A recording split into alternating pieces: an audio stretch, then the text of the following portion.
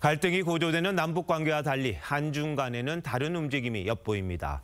중국이 잦은 구설에 올랐던 싱하이밍 전 주한 중국 대사를 교체한 지 석 달 만에 우리 정부도 주중 한국 대사를 교체한 겁니다. 새 주중 대사인 현 정부 초대 비서실장이었던 김대기 전 실장을 내정했는데 어떤 뜻이 담긴 건지 홍현주 기자가 취재했습니다.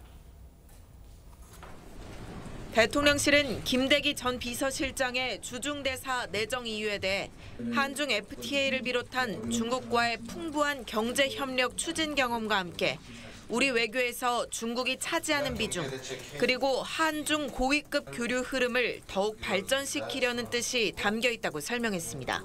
격변하는 동북아 질서에서 한국의 위상에 걸맞는 외교 성과를 거둘 것으로 기대합니다. 김 전 실장은 TV조선과의 통화에서 동북아 정세가 위중한 상황에서 양국 사이 불필요한 오해가 없도록 가교 역할에 집중하겠다고 말했습니다. 대통령실은 정재호 주중대사가 2년 3개월 대사직을 수행해 교체 시기가 됐다는 입장이지만 이번 교체를 한중 관계 개선과 맞물려 보는 시각도 있습니다. 앞서 이른바 배팅 발언으로 논란을 빚었던 싱하이밍 전 대사가 지난 7월 교체된 데 이어 미국이 승리할 것이고 중국이 패배할 것이라는 그런 파이팅이 하고 있는 것 같습니다. 하지만 이는 분명히 잘못된 판단입니다.